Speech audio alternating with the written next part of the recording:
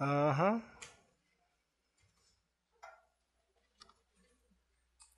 So I would like to invite Professor Jake Rice to share with you his knowledge, excitement, and experience.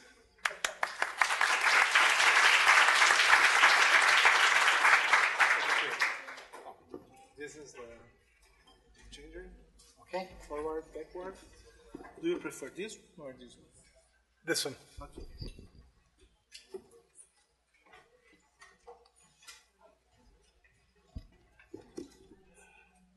This is a very intimidating audience to address. I'm used, if I'm in a room with this many people, they're all policymakers waiting for me to say the one thing that supports their preconception or the one thing that will make my whole talk discreditable when they have to go report, oh, he said some things, but they're wrong. Um, I actually have to try to be intelligent for 90 minutes. Please bear with me. Now, whoops. Maybe this one looks better. Before I get there, after the several really inspiring panelists speaking about different roles that scientists do play or should play, by chance I put on this first slide some of the things in my background. I spent 10 years, well, I spent 20 years as a marine scientist publishing papers, doing research, working on assessment problems. My reward for 20 years of loyal service was the punishment of being made director of science advice for the Ministry of Fisheries and Oceans.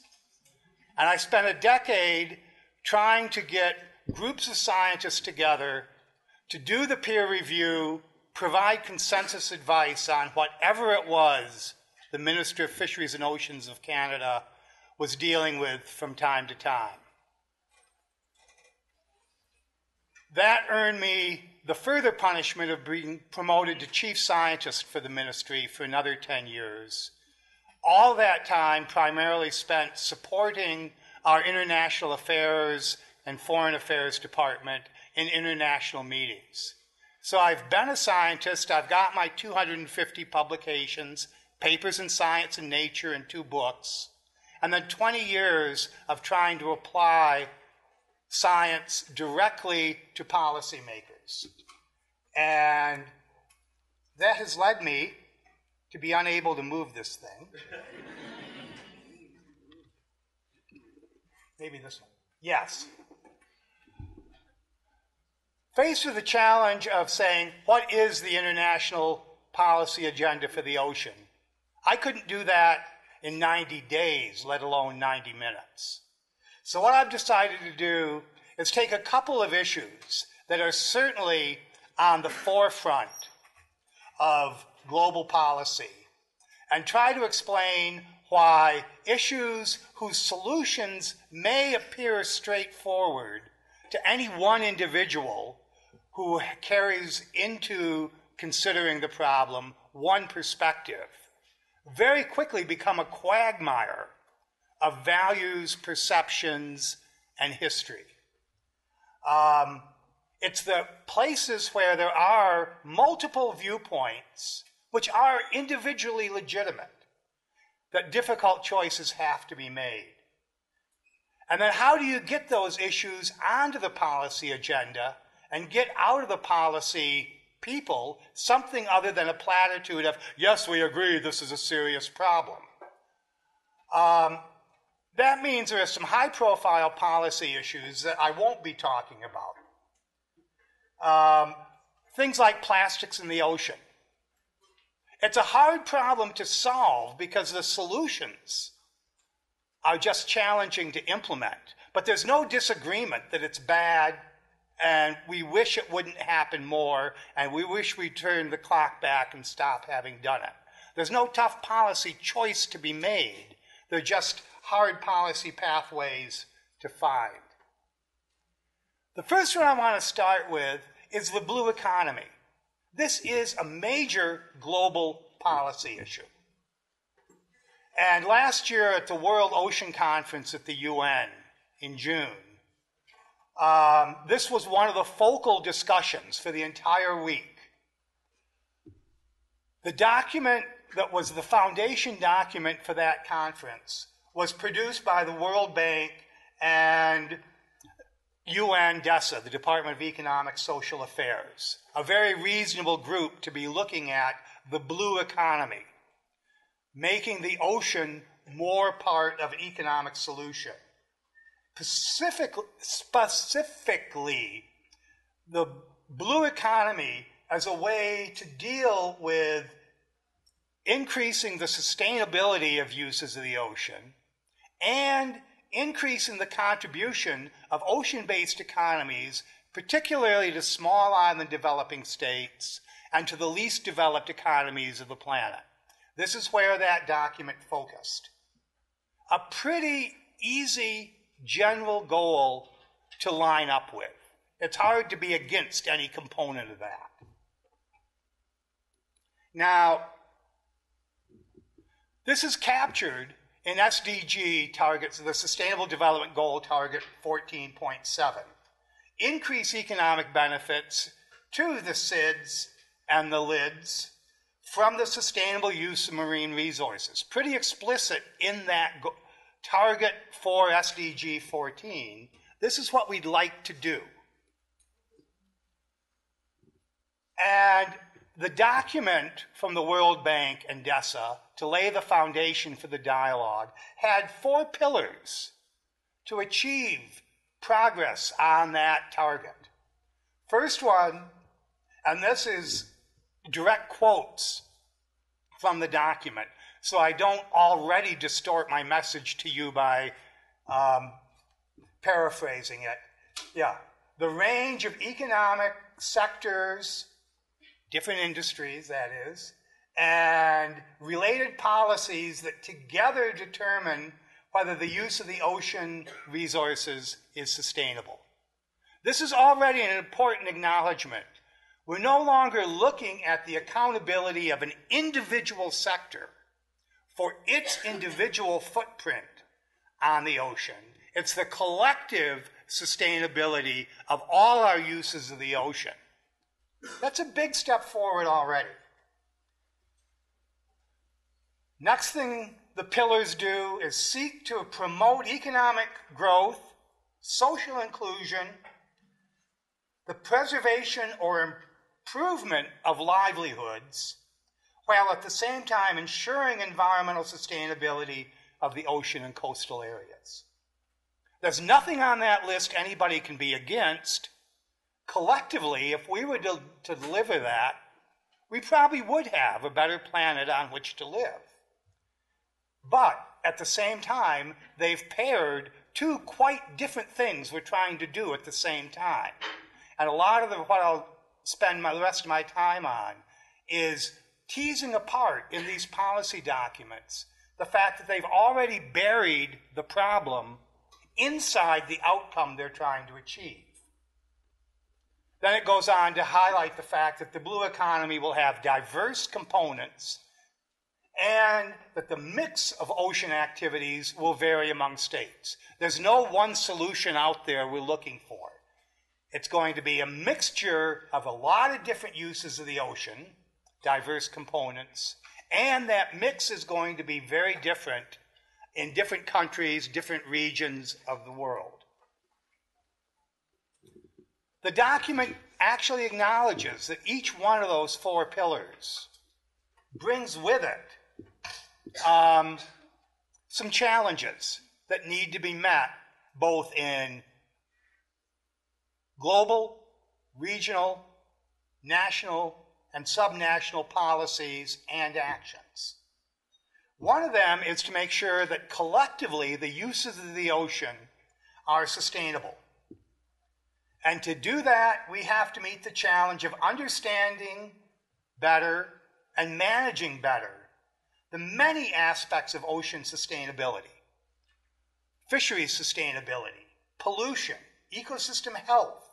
All those things collectively have to be done better, better understood, better managed, to achieve the sustainability dimension of this blue economy. And then sustainable management of ocean um, resources requires collaboration across nation states. So you actually have to work together around shared basins. Collaboration better, management better among the different industry sectors. They have to start taking each other's interests and footprints better into account. And on scales that have not previously been achieved. So, those are the little challenges of one of the four pillars. Moving to the second pillar growth, inclusion, livelihoods, but protection of the oceans. Focused on livelihoods is good. It's not just focused on generating wealth, it's focused on supporting livelihoods of people.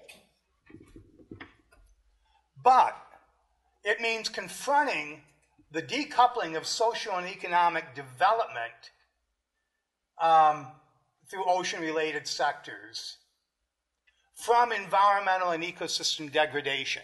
It's easy to increase socioeconomic development if you're willing to tolerate environmental degradation. The challenge is finding a way to decouple the degradation from the development, get the development, leave the degradation as a legacy of the past to be remediated but not repeated. The third pillar, that diverse components. This means there's a mix of traditional, established uses of the ocean. Already, fisheries has a long history in every part of the ocean. Tourism in various forms in many parts of the coastal areas. Maritime transport is another one. Qu- rarely considered a priori as part of an ocean's agenda, but maritime transport, shipping, the movement of goods on the ocean constitutes, some estimates make, as much as 80% of global trade is maritime trade. And that is so foundational to national economics that this thing that most of us don't think of as part of global ocean policy as a frontline activity is, in fact, one of the cornerstones that other things are constantly having to accommodate because countries don't compromise on their historical transport patterns and rights. Then we have to add on to those existing activities, many of which are already difficult to conduct sustainably, the new ones that help generate a bluer and stronger economy. Offshore renewable energy, wind farms, tides and waves, things like that. Aquaculture, which in many parts of the world on maritime scales is a relatively new activity. Seabed mining in areas and types of seabed resources not done in the past. And the whole quite new field of marine biotechnology and all the opportunities and all the real risks and challenges associated with sustainable biotech. So, those are the diverse component challenges. Then the point about the mix varying um, by country. Nobody can dispute that. But, um, oh, I missed an important one in P3, that little line at the end. Several of the really important things about the contribution of the ocean to people's well being, people's livelihoods, are not monetized. And many people say if it's not monetized, it's not part of economy. It's not part of the blue economy if it's cultural and aesthetic. And that decoupling of human satisfaction and how you feel about things from, oh, it's not economic because we can't attach value to, value to your cultural identity becomes an interesting challenge to address in a blue economy. The mix varying by country, the providing social and economic benefits for coastal and future generations. Yeah, nobody can be against it, but does it need to be said? Um, restore, protect, maintain diverse productivity, resilience, functions, and intrinsic value of marine ecosystems. I thought I'd been working on that for 40 years and still didn't know how to do it. And now it's just one of about a two dozen challenges that this new blue economy has to face. And then how it's faced clean technologies, renewable energy, circular uh, material flows. That's a very sophisticated way to say don't waste as much and recycle more. So, circular material flows is your sophisticated term for the day. How are we going to make all this happen? They've got that all figured out. Support it by a trusted, diversified knowledge base. This could be a 90 minute talk in itself. Diversified knowledge base, and that means not just all the disciplines of science working together. That means bringing in the knowledge of local coastal communities, the knowledge of indigenous peoples. Local communities have centuries of living in harmony with their oceans and sometimes contaminating them very badly. Indigenous cultures, not centuries, but millennia. Many successful, some not successful. But bringing these knowledge systems all together, complementing them with human resources that inspire and support innovation. That's you guys. You're the ones who are supposed to inspire and support innovation. We have to tell you how to do it when we haven't been able to. Um, anticipate, incorporate the impacts of climate change. If the problem wasn't hard enough before, this sentence just made it even more realistic on one hand, because climate change is a reality and has to be part of any planning for the future. And it's another thing that has been extremely difficult to even figure out how to do, and then even more difficult to get into the policy agenda and get out activist solutions to it. Low carbon, resource efficient pathways, etc and the fact that small island states, low income developing states lack the capacity is included in this overall UN DESA World Bank view. So they acknowledge the need for it. They acknowledge there are some short term priority concerns. Overcoming economic trends that are rapidly degrading ocean resources doesn't mean stop using the resources.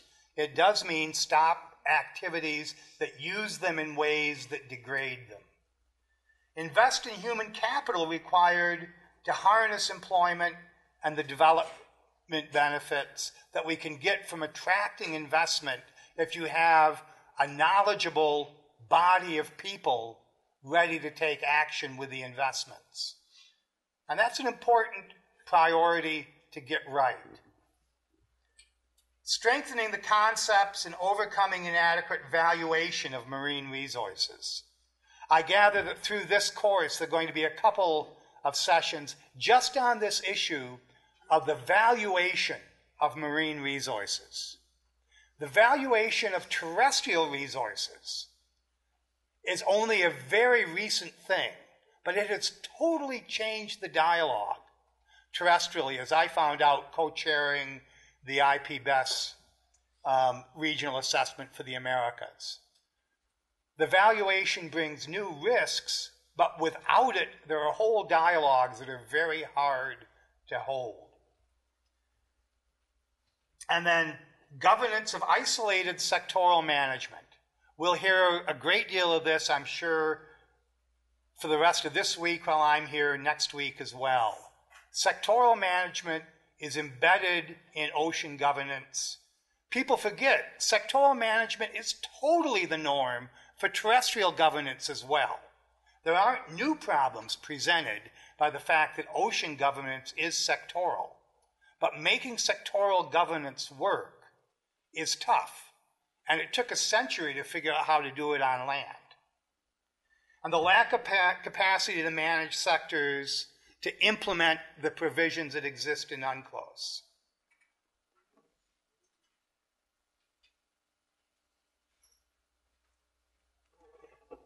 There's a long session, section in that report on how to go from small island developing states and low income developing states transitioning to better status.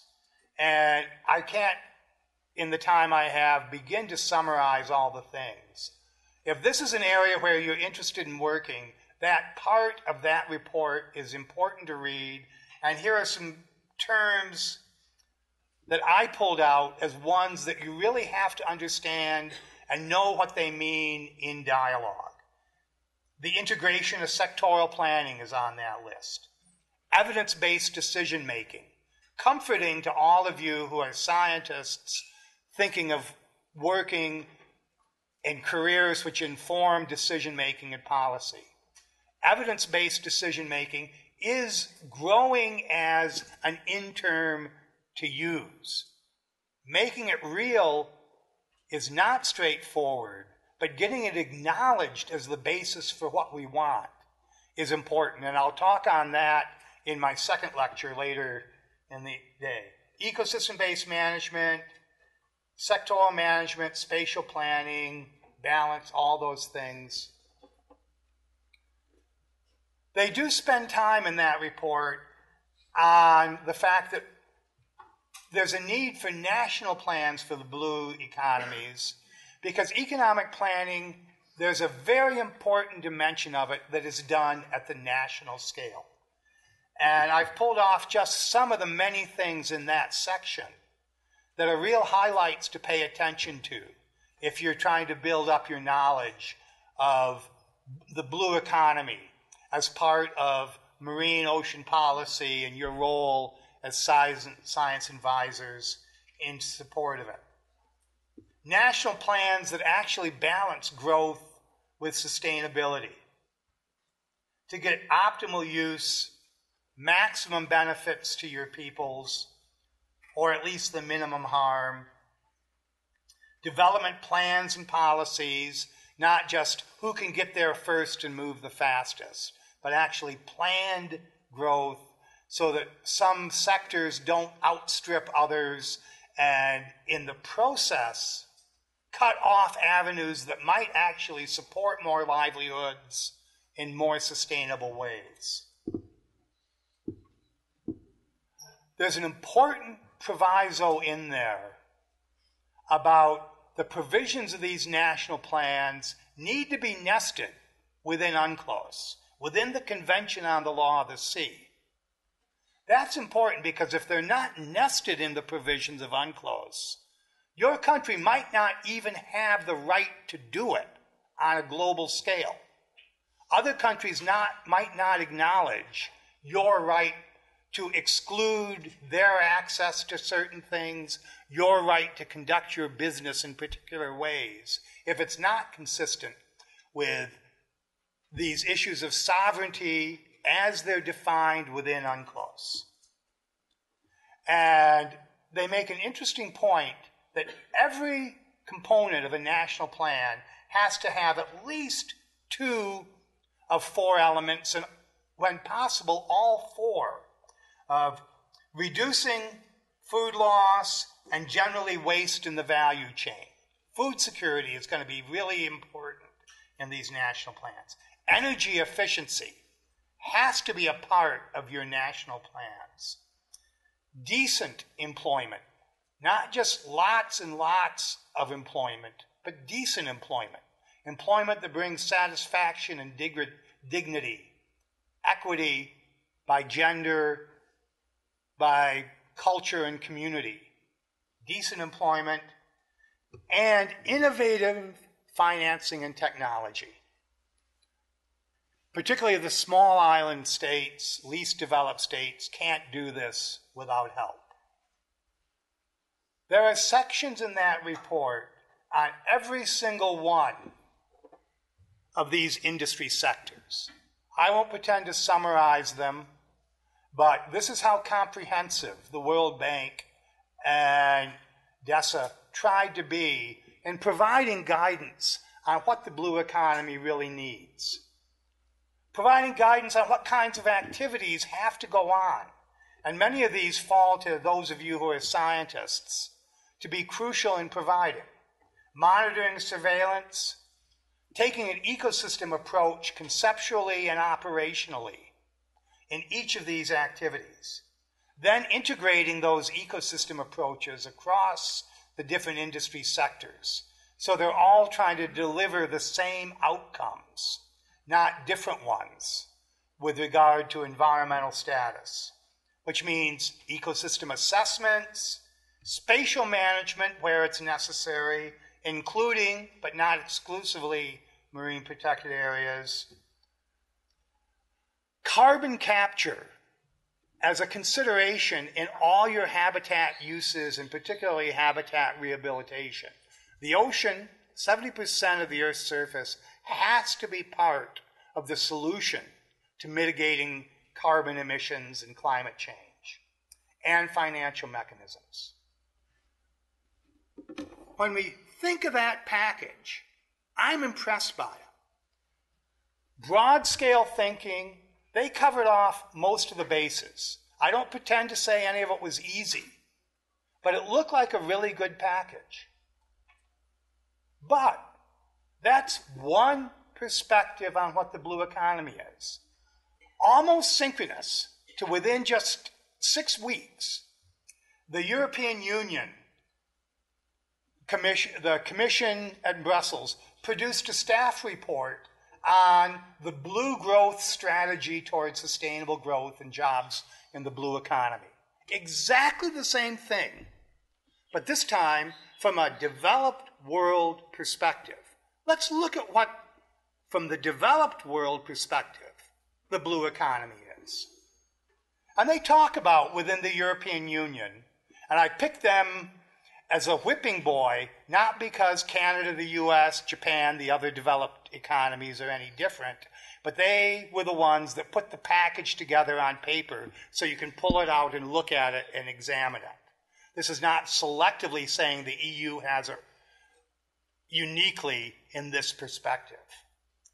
There's already 5 million jobs in the blue economy of the European Union, generating 5 billion, 500 billion euros per year of wealth already. And 99% of those jobs were in living resources, which is code for fishing, non living resources, code for aggregate and sand mining and things like that, transportation, shipbuilding, tourism, the blue economy growth areas were going to be energy, aquaculture, much more in different tourism, uh, biotech, and deep sea seabed mining. So that by, and as an example, between 2010 and 2016, there were already 150,000 new, I dropped a zero off typing, my apologies. 150,000 new jobs in renewable energy, offshore wind farms, early v- versions of wave and tidal power. And by 2030, the total global value of $2.6 trillion for ocean industries, up from half a trillion dollars, 500 billion. So that's a five-fold growth by 2030 in economic wealth generated by the ocean. What's the view from the developed world of the environment and the knowledge needs for blue growth? Environmentally, the concerns, CO2 emissions, efficiency of resource uses, the size and the nature of the footprint of the industry sectors.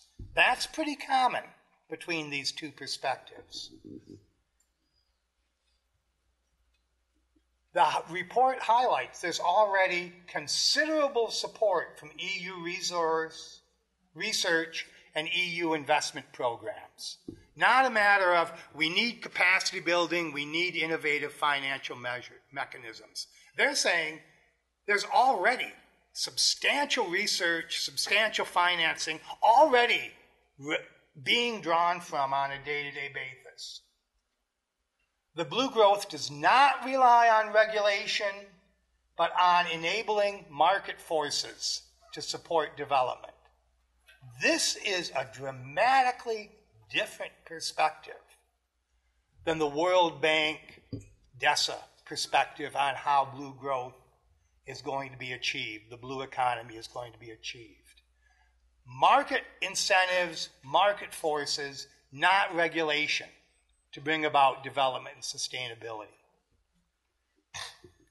And in 2014 to 2016, a total of 800 million euros have already been devoted to more research and development. This is innovative financing at its best. The action so far renewing the common fisheries policy, developing a trans European transportation network. This is the shipping issue again, really coordinating increased energy efficiency, less pollution from shipping, including less noise pollution. All these things are in way. Mobilize, seeking to address emissions from the transport sector, and an ocean energy forum looking for public private partnerships to develop these clean energy, renewable energy resources and highlighting that offshore wind power is the fastest growing activity in the entire blue economy already. And we can see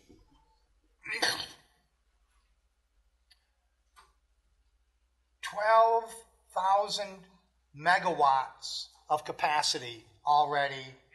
The investment bank has financed a grid to integrate this power source across northwestern Europe already.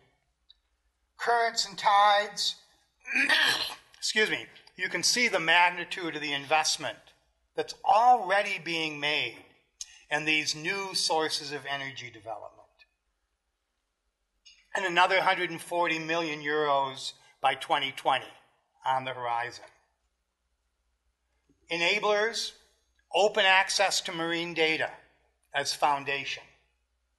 And they've got projects like Coperm, Coper, you can read it off the screen. Um, they've got data collection frameworks, observatories, data networks, all this already being built and supported. Enablers in terms of really organized, scientifically well supported marine spatial planning. The Marine Strategy Framework Directive, as far back as 2008, a full decade ago, the MSFD became European policy as a framework directive for economic development and sustainability of uses of the ocean. Um, they set back then the standard to achieve good environmental status for all the coastal seas of the entire European Union.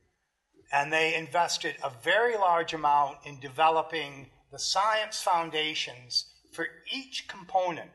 And I believe there were what, eight or 12, Salvatore? You'd know. Uh, how, the different components of good environmental status under the Marine Strategy Framework Directive. I co chaired some of their work on component six, which was seafloor integrity, but there were quite a few others. And that took 18 months of a team of 20 experts working just on that one little component of it. Six year cycle didn't even fully resolve the definitions let alone identified the list of indicators and the thresholds on the indicators to deliver good environmental status. There's a whole table of funding that you probably can't read for at least half the room, so I won't spend time on it. But all I can tell you is those are big numbers being spent to implement this. This is where the EU envisions going. But what's happening? And employment in chapter 5 of that report. What's happened to employment in fishing with the common fisheries policy?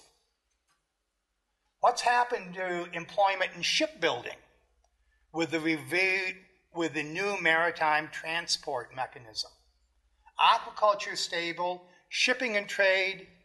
This again, this is a different vision than DESA had.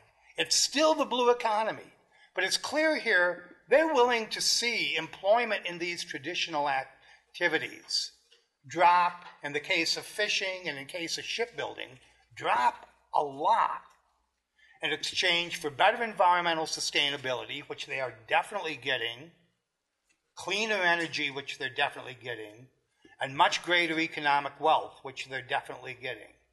They traded off livelihoods for it, something that in the EU, in the um, SIDS and LIDS um, vision of the blue economy, Sustainable livelihoods and more livelihoods was foundational to everything else.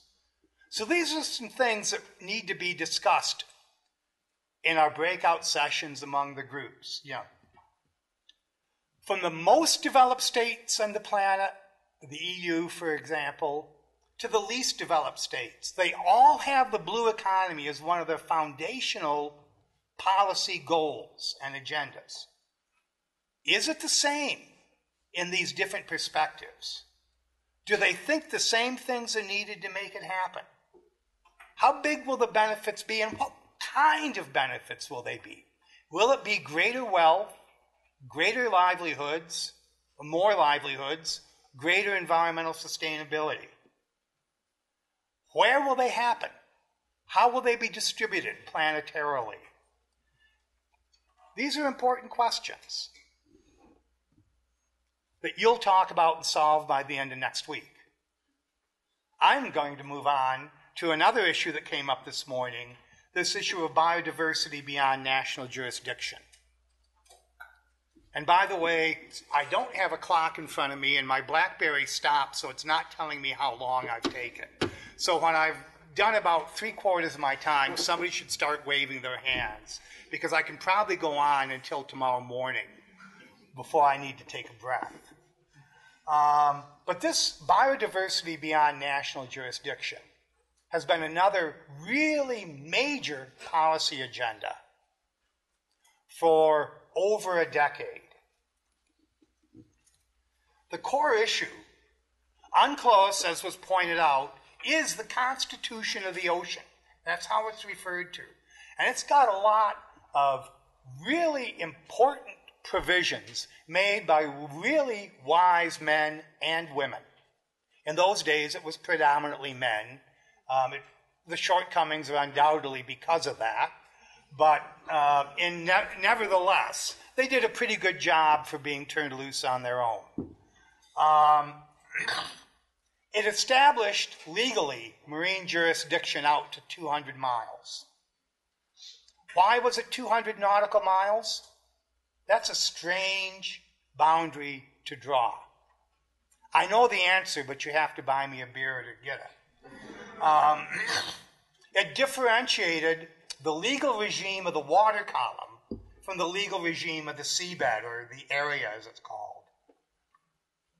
It entrenched rights of innocent passage, enabling you to deal with piracy, um, illegal activities in the ocean, and it empowered sectoral management through authorizing intergovernmental organizations like um, regional fisheries management organizations and regional fisheries management bodies to actually act legally on the high seas.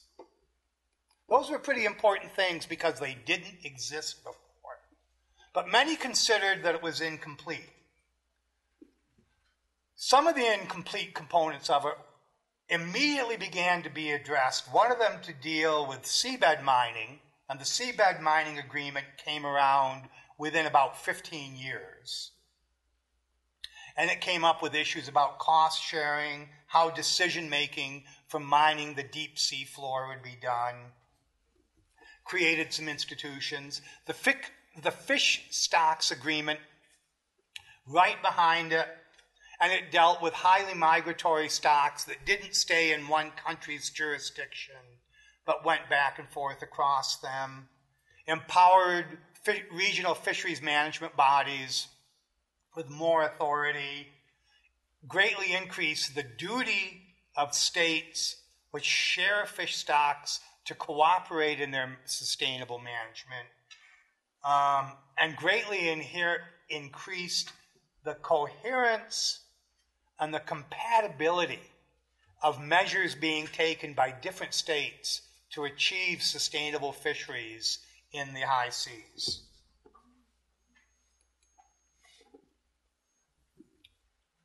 But the area of explicitly biodiversity conservation as an outcome of its own, not as an outcome of sectoral management, which is keeping shipping sustainable, keeping mining sustainable, keeping fisheries sustainable. Conserving biodiversity doesn't belong to a sector.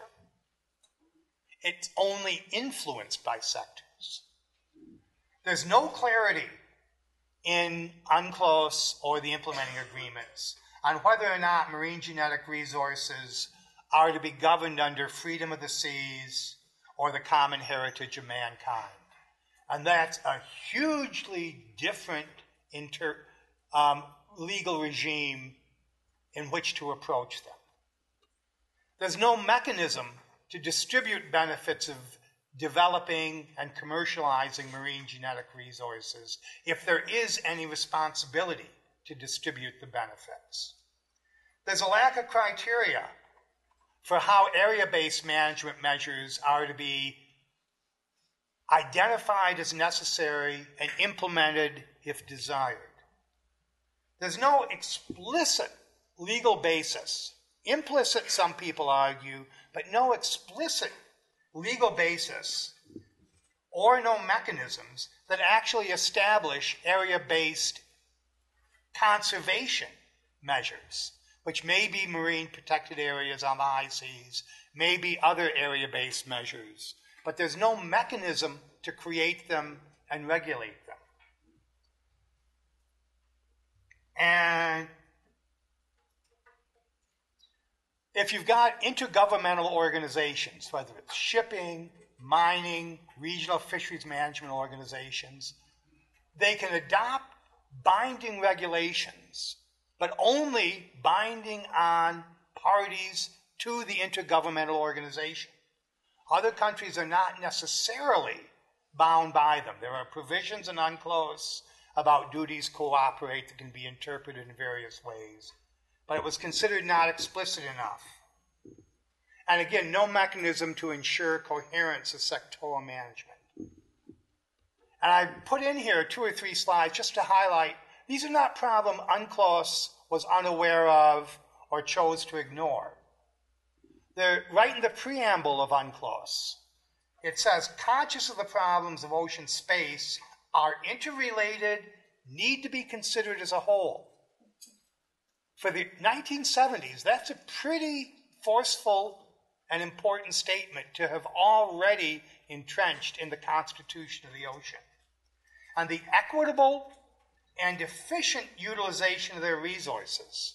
They acknowledge that far back the issue of equity, the issue of efficiency, was supposed to be crucial to how we use the ocean. And the study, protection, preservation of the marine environment those are all right in the preamble already. And the overarching goals are given. And these are just some extracts from UNCLOS that are really relevant to this discussion.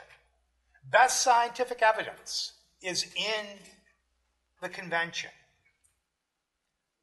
Proper conservation and management measures is in the convention.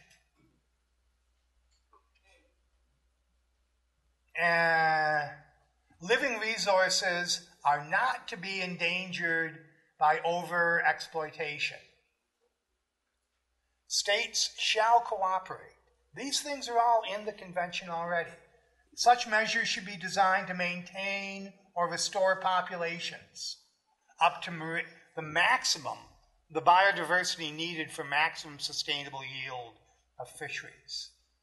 Um, needs of coastal fishing communities and the special requirements of developing states are in the parts of the of UNCLOS on coastal fisheries and fish stocks. There's provisions about general, general biodiversity already in UNCLOS. Carryover of provisions from Article 64 in Part 3 on the high seas when you're outside national jurisdiction. Subject to conviction, it says quite clearly freedom of fishing on the high seas is subject to all the condition, conditions laid down in Section 3, Section 2. You don't have license to overfish in the high seas, even if there's no body to regulate you. You're not under the convention, if you're a signatory, you've agreed you're going to regulate your own vessels individually, not to do that. And the states have a duty to cooperate with other states in taking the measures that are needed, is in there.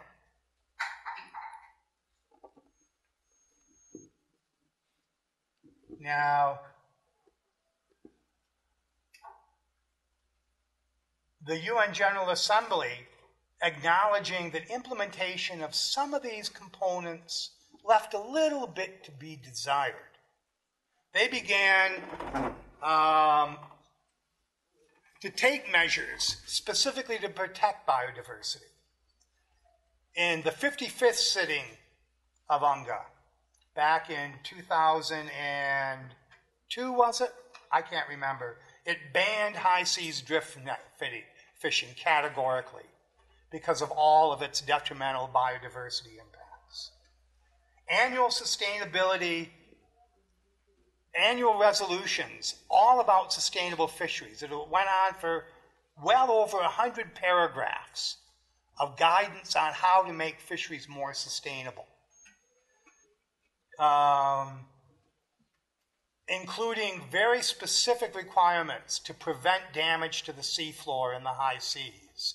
And if you couldn't do it, you couldn't allow those fisheries to proceed. These were all in there. And FAO provided a lot of guidance documents on fisheries.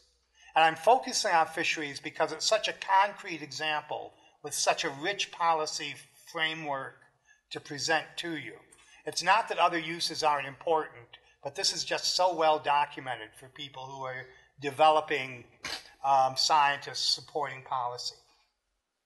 Um, the FAO alone produced this long list of technical guidance on how to do all those things to make fisheries sustainable, to make the footprint of fisheries on the ecosystem within sustainable bounds so it didn't degrade the ecosystems being fished. It has precautionary approach. That goes back to 1995 and 1996 integrated management of fisheries before the 2000s, sustainable development of fisheries before the 2000s. All this guidance already exists. And because of that, there were many parties to UNCLOS which said, we don't need another agreement, another annex to UNCLOS. All that guidance is there we need to act on the things we've already agreed should be done, and we have guidance in how to do them. We don't need more policy. We need more action on policies that already exist. Nevertheless, 2004. And what's special about 2004? Somebody? It's right after the Millennium Ecosystem Assessment came out. You shouldn't lose that connection. The MEA was crucial in triggering some of these things like calling at the UN level for an ad hoc, open ended, informal working group. And anybody who's ever been to one of these ad hoc, informal, ad hoc, open ended, informal working groups can agree it's ad hoc, it's open ended because it never ends. The only thing it isn't is informal. Everybody's in suits, everybody speaks according to UN rules. But nevertheless, they created an ad hoc, open ended, informal working group to study issues related to conservation and sustainable use of marine biological diversity in areas beyond national jurisdiction. It took nine meetings over 10 years of these ad hoc, informal discussions, ad hoc, open ended informal discussions, to um, exchange views on the core parameters and the feasibility of whether an instrument is needed or not. Um, to and the product of that was a decision to establish a committee. After nine meetings in 10 years, they were able to decide to establish a committee to um, make substantive recommendations to the General Assembly on the elements of a draft text of an internationally international legally binding agreement. So a committee to decide what the legally binding instrument would be allowed to even discuss. Whoops. Yeah. The two PrepCom meetings in 2016 and 17 agreed on a charge to create a new legally binding instrument for the entire high seas to deal with biodiversity. It must agree on, it must address all three parts of the package. This is, some, uh, this is a phrase you need to master if you're going to be taken seriously as talking about ocean policy. You have to be able to drop the word, oh, the package, on a regular basis. Um, access and benefits sharing to marine genetic re- from commercial uses of marine genetic resources. It had to resolve that issue. It had to create mechanisms to implement area based management tools, including but not exclusively marine protected areas and it had to come up with parameters for doing environmental impact assessments, sector by sector and cross sectoral, that would be considered credible as a starting point for sectoral and cross sectoral management. All three pretty progressive things dealing with issues that had been hard and divisive for a long time. And then they were careful to put in afterwards that whatever this new instrument should contain, the text should not undermine the existing legal instruments and frameworks and relevant global, regional, and sectoral bodies.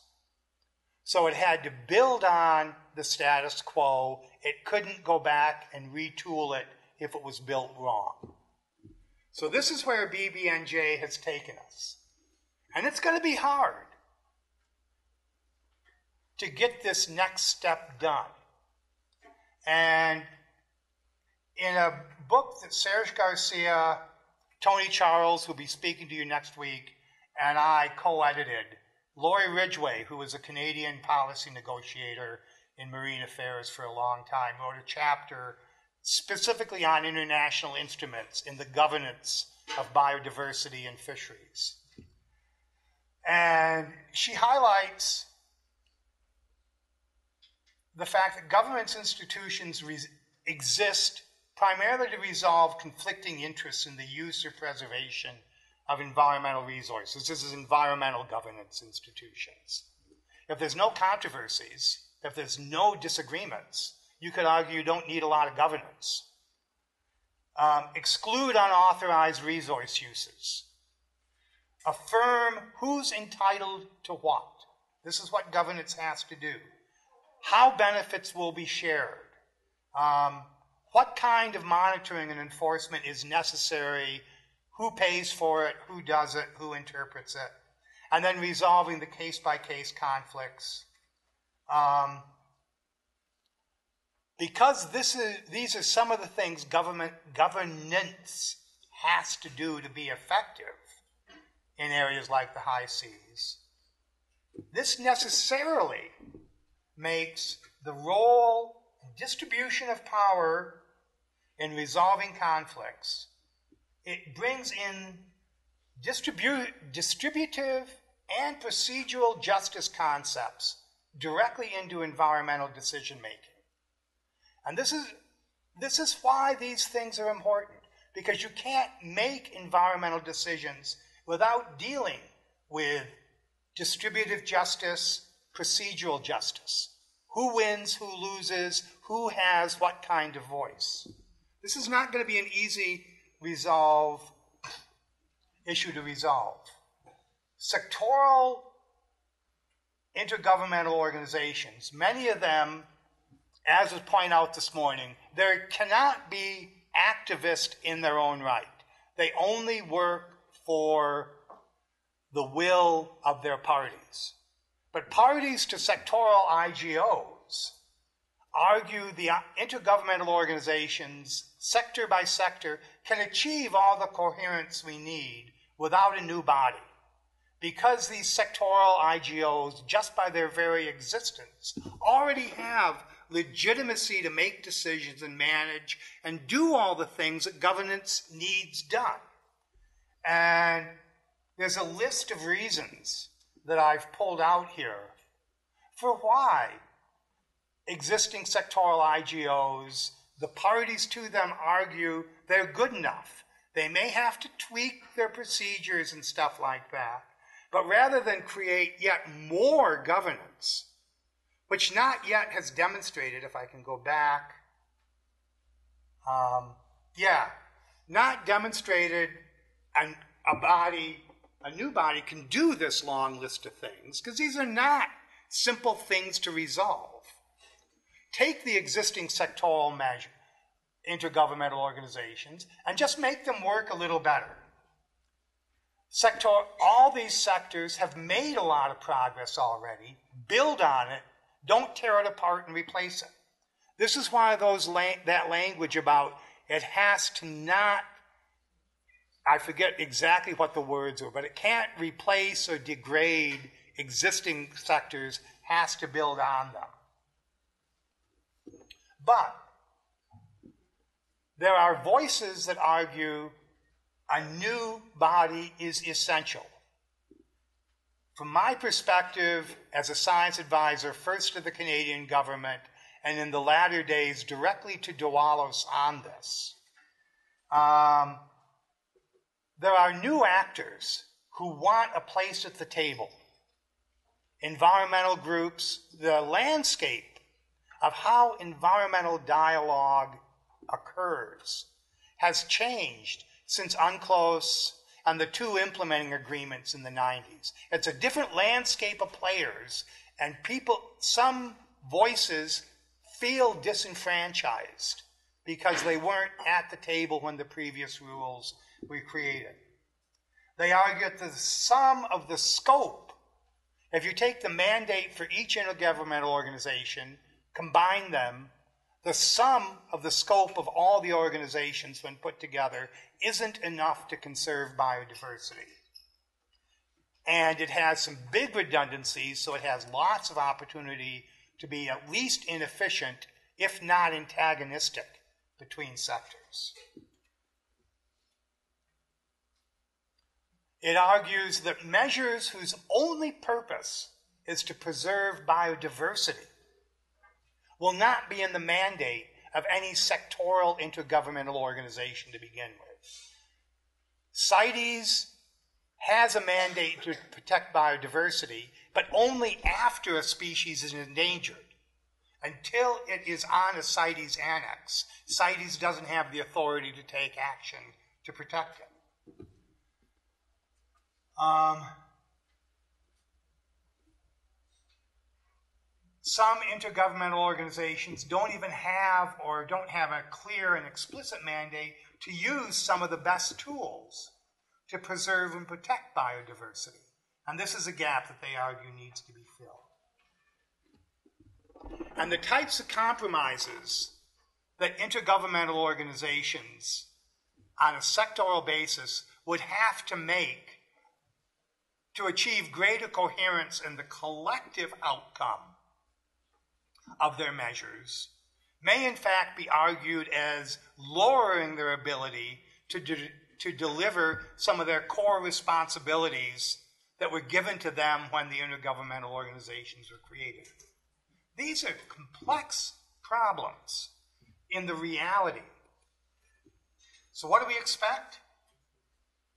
These are some questions, again, that you need to talk about over the next two weeks, and then come back to those of us who have in, caught in this quagmire with how we're going to get out of it. Yeah. Is the package really a package? Personally, I've never seen those three issues as ecologically integrated. They're a trade off of different policy goals of different sets of countries. And the way that they got the three of them addressed was for each one to say, We won't address your problem unless you address ours. They're not a package in anything except they all have the same wrapping paper. Um, well, the conservation biology interests and voices ever trust sectoral intergovernmental organizations enough to trust them to conserve biodiversity? That's a question that I have my own views on, and you should come to yours. But this issue of trust is fundamental to delivering outcomes. And if we do have another body created, which does have exclusively a conservation mandate, should it be an extension of the existing Convention on Biological Diversity, which has a lot of biodiversity related provisions and powers in the convention and a whole set of implementation processes, structures, procedures, and institutions to deliver them, or should it be a separate body? These are interesting questions to discuss. Now, with what time I have left, anybody tell me how much? I can't see that at all. What, 13? Or 30 or 13? 13. Okay. I'll give you a much more concrete example of how these things can play out in a real, concrete global policy challenge. And it's one that I've been quite involved with for about a decade. And it's the nexus where in the ocean, fisheries for sustainability, meeting global food security needs, and climate change all come together. Whoops. Because these discussions, pairwise, are going on all kinds of places. Climate change and food security, you can Google up dozens of reports on that. Climate change and biodiversity conservation, climate change and fisheries, climate change and food security, putting the three of them together. Each pairwise combination, you can see clear pathways to make progress. The three together, it becomes a much bleaker picture. And I've got here, and you can download this, I won't read them. These are some key sources that I've used in the slides that follow. Human population growth and food security needs. Everybody's seen that figure or one like it. The calories, they're met by grains and vegetables. Everywhere in the globe, this is where people get the calories they need to survive. Protein is the limiting factor for many communities and many desires of getting healthy diets. One and a half billion people get at least 20% of their, pro, of their non grain protein. and by non grain protein, it's not something special. By the time they've got the calories they need from eating grains and vegetables, they've got protein, but they haven't got enough. So the protein deficit after they've met their caloric need, 20% or more of that comes from fish.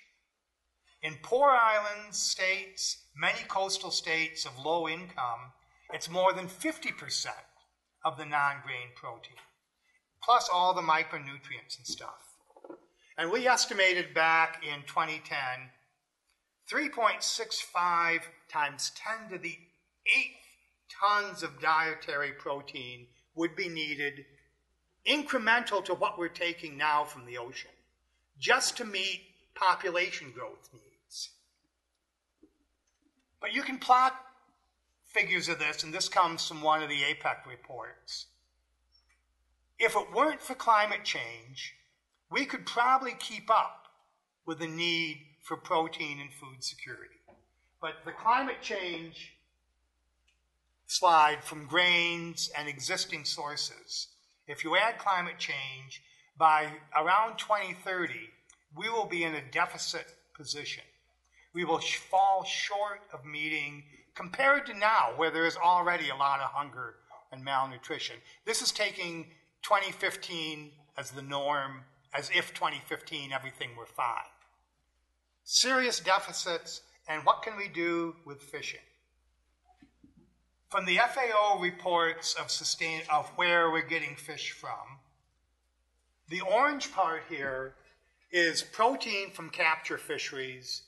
The blue part is protein from aquaculture. Capture fisheries has been stable since the 1990s. Aquaculture has been growing exponentially. They're stable at 85 to 90 million metric tons of food, and that can be delivered sustainably. We know how to do it, we're making progress. Aquaculture is now up to around 60, 70 million metric tons, and you can see how much it's increasing. We'll need another 70 million metric tons of, of sea based protein by 2050 to make up for that. Um, population growth plus climate change impacts. So that's as much more aquaculture production, or about 80% of the total capture fisheries we're getting now, within another 30 years.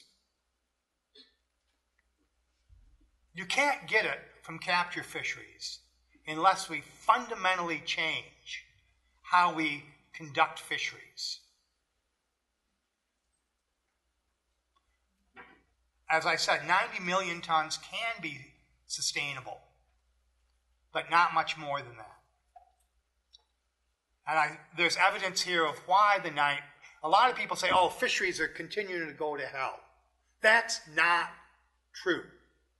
Everywhere in the world that there are the resources to invest in science-based stock assessments and the resources to invest in actually managing fishing activity on the high seas. The very large majority of fish stocks are exploited at or below a sustainable rate, and the biomass of those fish stocks is recovering. We haven't made ground back from everything we lost in the 70s, 80s, and 90s. But everywhere in the world that you invest in assessing and managing fisheries, 90% of those stocks are being managed well and recovering or sustainable. Everywhere in the world that they're not investing in assessments and management, they are continuing to go down. It's not because we don't know how to manage fisheries, it's because we don't have the resources in much of the world to do it. And that's an important message to take away. Aquaculture, I'm going to skip over this quickly because I don't have much time left. The message here is the period when aquaculture was associated with really serious detrimental environmental impacts is also history for the parts of the world where there are the resources to actually manage aquaculture. The chemical contamination from overfeeding them, from giving them too many antibiotics and growth hormones and stuff. We've learned the lessons. We know how to make aquaculture sustainable. But again, we have to invest in doing it. We know what the ecosystem effects of fishing are. We've been working on these things since the 1980s. That's what got me out of terrestrial ecology into marine research to work specifically on quantifying what they were, identifying pathways to address them. And we largely know how to do it. Aichi Biodiversity Target 6 has targets for all the things that fisheries can do to biodiversity bycatches, seabed impacts, endangered species, ecosystem structure and function, and the guidance in how to achieve those targets exists in papers that have recently been produced jointly by the CBD and FAO, the type of collaboration we've been talking about.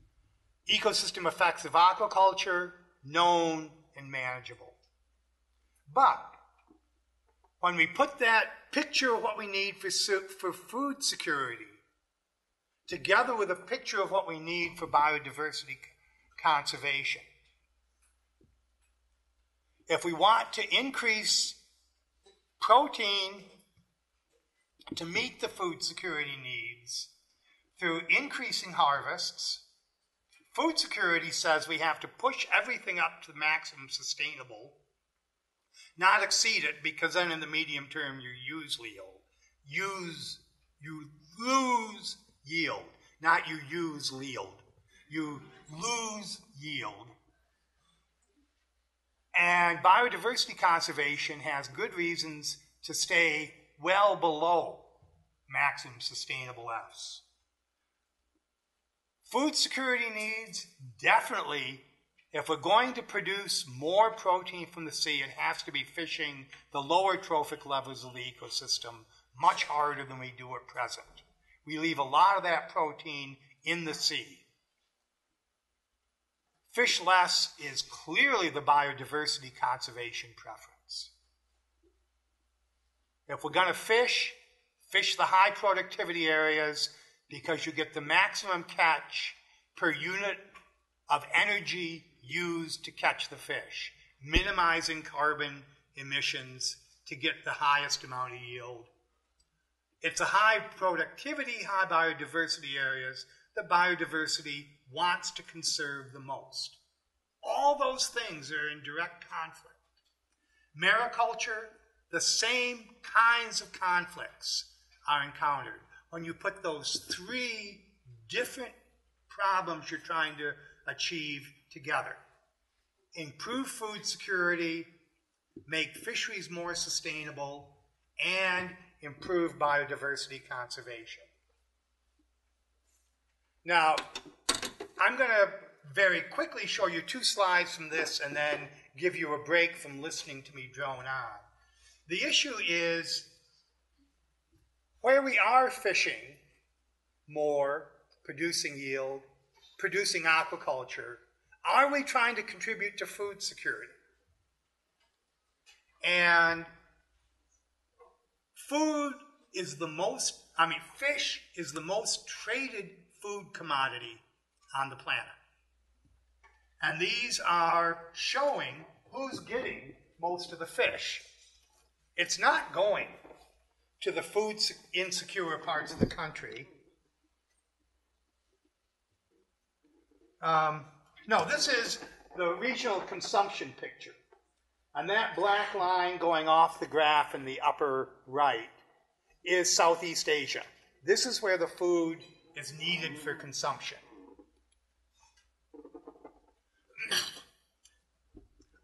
This is where they're fishing.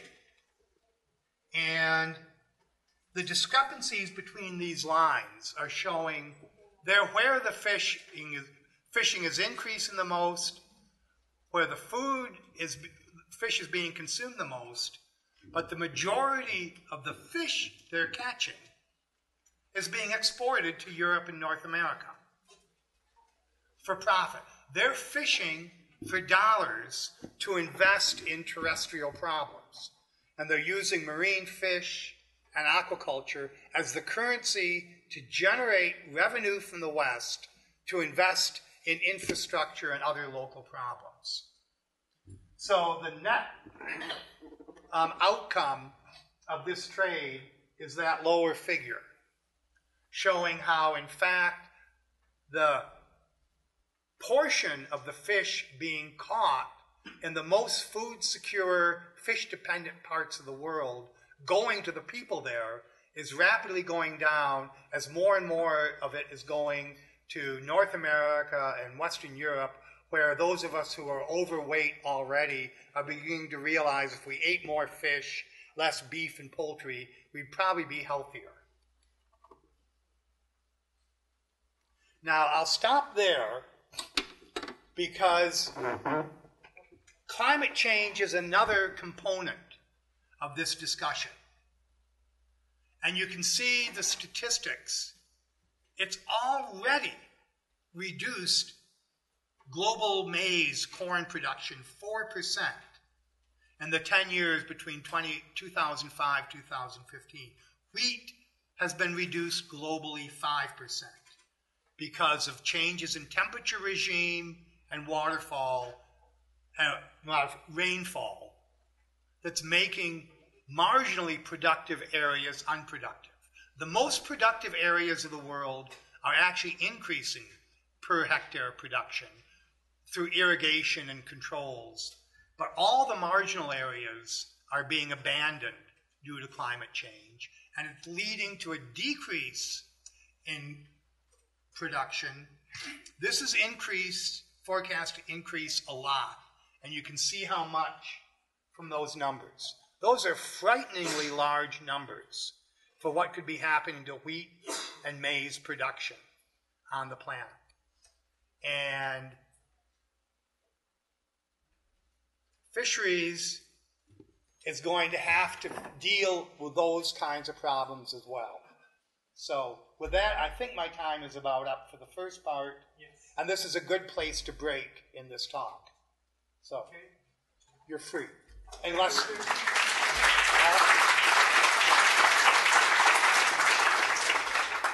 Thank you, Jay. Uh, we have a break now. Uh, there's coffee, cakes, and gnocchi. No, gnocchi no.